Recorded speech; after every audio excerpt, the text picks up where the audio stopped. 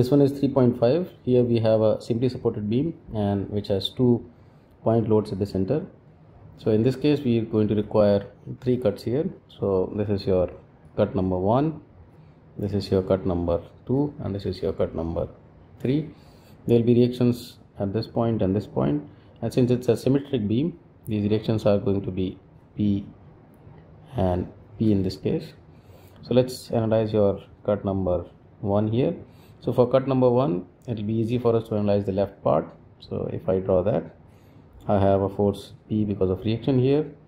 And since we have a positive face opening up so we are going to have your bending moment and shear force acting in this manner. Now if i look at your cut 2 here for cut 2 again we can analyze up to this point. So we are going to have this reaction force p another force p acting at a distance of a from here and we are going to have these unknown shear force and bending moment because again this is a positive face so they are acting in this manner. And both of these cases the distance from the left end is always x so this is x from here to here and in this case this is x here okay? Now let's look at your cut number 3 so for cut number 3 it's easy for us to analyze the right part so let me draw it on this side here.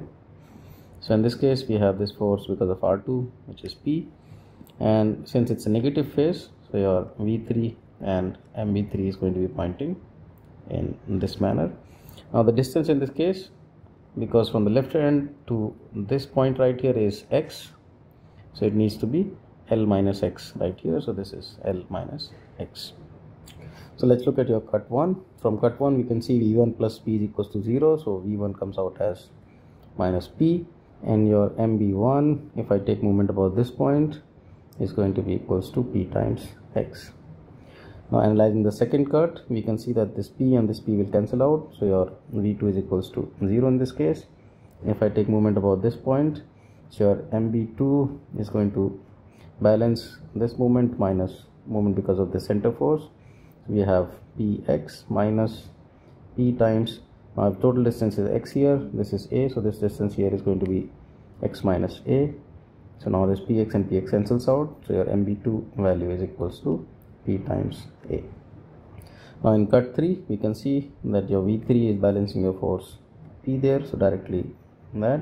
So your mb3 if i take moment about this point right here is going to be p times l minus x. So now we have got these values. So let's try and plot them in these different segments. So your cut 1 is going to be here cut 2 is going to be here and cut 3 is going to be here. So this is my axis for shear force. So v1 value is minus p. So it goes in this manner. The v2 value is 0 so we follow this line. And then again p3 value is plus p. So we can draw it in this manner right here. So this one is minus p here. This is plus p. If i highlight the boundary of this curve this is how your shear force diagram looks there. Similarly we can plot the bending moment here. So if i draw an axis here for the bending moment now your m1 value is px which is valid from 0 to a. So from here to here we can evaluate this at x equal to 0 and a. So at 0 we get 0 at a we get pa so this value right here is pa so i can draw this line right here. So this is the first part. In the second part we have value pa maintained. So in part 2 we are going to have this horizontal segment. It looks like this. And in the last case we have this. We can again evaluate this at two points one is this one right here which is x equals to a plus b and x equals to l. At x equals to l this value will be 0 and since a plus b so l minus a plus b is equals to a so this again gives you pa so this value is matching this right here and it needs to end with 0 so we can connect this in this manner. So that's how your last segment is. Again we can highlight the boundary here. So that's how your bending moment diagram looks. This way now this was a simple problem. I have demonstrated the cut method here but you can again follow the basket method in that basket method we will start counting all the positive forces and we'll walk on this beam from the right hand side in this manner. So if I reach this point I see that there is a positive force P available here. So I take that force. So I maintain this P value till I reach this point. That's how your shear force is plus P on this point. In this region once I reach this point I get another force P which is in the negative direction. So this positive P and this negative P cancel each other. So that's how we maintain a value of 0 in this segment. And this is going to be true till I reach this point. Again at this point I get another force which is P in the negative direction. So total force is going to be minus P here. So we maintain this minus P till I reach this end right here. So this is going to be minus P right here. So again we can mark the boundaries for this curve. So this is your shear force diagram.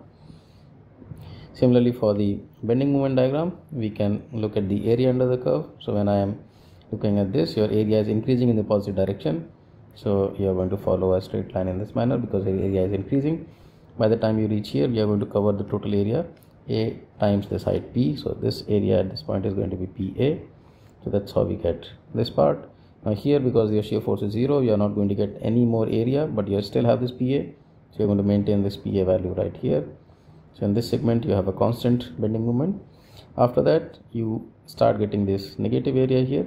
So you're going to start reducing in terms of area. That's why we are going down. So this pa will be completely negated once we cover this distance a on this side. That's how you can plot your bending moment diagram for this. So i have given you both cut method as well as your basket method in this case. For simple problems where you have only point loads available then it's easy for us to do this by basket method